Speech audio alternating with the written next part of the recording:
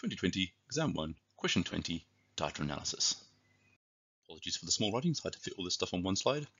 Now looking at January to May, they've given us a total of 2.16 million, and we're doing five uh, mean smoothed. All you have to do is take that number and divide by five, and you'll get 432.